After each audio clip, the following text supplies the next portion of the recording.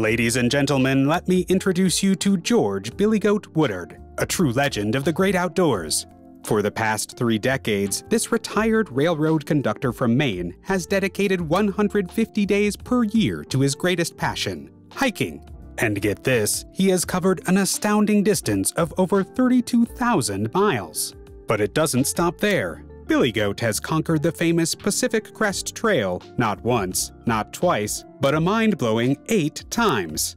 This trail stretches a whopping 2,653 miles, taking you all the way from the Mexican border to the Canadian border. It's an epic journey that leads you through the stunning Sierras, the challenging switchbacks of the Cascade Mountain Range, the breathtaking landscapes of Yosemite National Park, and the lush rainforests of Oregon. And let's not forget the jaw dropping elevation change of 420,880 feet. While most people dream of hiking this trail just once in their lifetime, Billy Goat has hiked it more times than anyone else on Earth. And even if he can't do the entire trail in a given year, he never fails to tackle a section of it. This man lives and breathes the Pacific Crest Trail like no one else. But Billy Goat's adventures don't end there. He has explored the South, the Southwest, the Northeast, and the West. He's even crossed the Rocky Mountains not once, but four times. This guy knows no limits when it comes to his love for hiking. And here's something truly remarkable Billy Goat has accomplished what's known as the Triple Crown through hikes.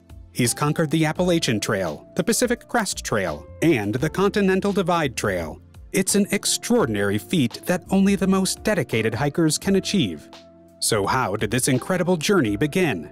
Well, at the age of 17, George Woodard left his home in northern Maine and embarked on a career in the railroad industry. After 30 years of hard work, he retired and decided to make a drastic change in his life.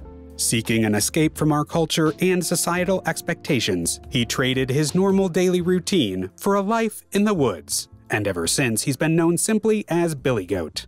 For 10 months of the year, Billy Goat's home is the great outdoors, although he and his wife have settled in Nevada. He spends his nights sleeping under the stars or in a trusty tent. He drinks water straight from the source and carries all his necessities in a backpack. He even prepares his own dehydrated food instead of relying on prepackaged meals. And let's not forget about his untamed, wild gray beard, which perfectly matches his nickname. When he hits the trail, Billy Goat maintains a steady pace of 2 miles per hour, only stopping to refuel his body. He pushes himself to cover as much ground as possible, often trekking well into the night. And like a seasoned hiker, he knows the importance of keeping his pack weight under 10 pounds, shedding unnecessary items to lighten his load. But Billy Goat isn't just another hiker seeking a temporary escape from reality. He embodies nature itself, He's described as the whole package and the heart and soul of the PCT by those lucky enough to have encountered him. First time hikers hope for a chance encounter, eager to hear his captivating stories of life in the wild.